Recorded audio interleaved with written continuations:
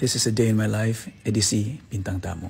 Jadi hari ini ako mau masak Hainan chicken rice. Ini salah satu specialty ako dan hampir semua teman-teman ako suka banget kalau ako masak ini.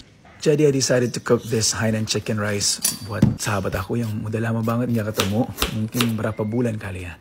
Dan ini prosesnya, ini simple banget sih tapi rasanya dan aromanya guys emang luar biasa. Dan ini final touchnya the water, terus kasih star anise, um, garam, aduk-aduk dikit, tutup, dan akhirnya let it boil sampai benar-benar mendidih gitu.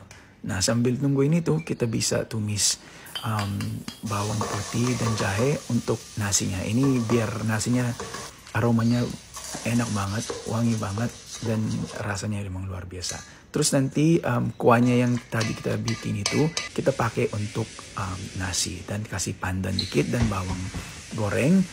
Terus selesai deh, tinggal nunggu aja sih um, matangnya. Dan ini dia sahabat aku yang sibuk banget nih sama Gino. Gila, udah lama gak ketemu. Dan ini makanannya guys ya. Aku udah ngeliatin semua prosesnya karena kita udah lapar banget berdua. Oke, okay, jadi ini dia. Mari kita okay. coba. Oke, okay. ini pertama kalinya makannya si Yasmin. Jadi let's see kalau dia suka atau enggak. Emang kita gini guys, rewel terus kalau berdua. Namanya juga sahabat yang agak gimana ya gitu. Oke, okay, dia lagi cobain. Itu tadi ayam yang disetim yang putih, yang merah ayam yang di caramelize pakai pewarna gitu. So let's see.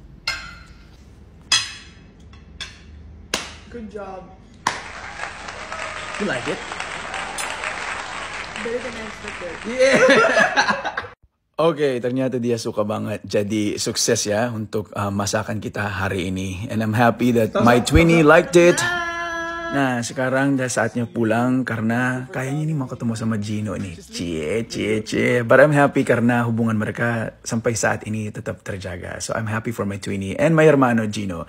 Thank you guys for watching. See you again next time. Bye-bye.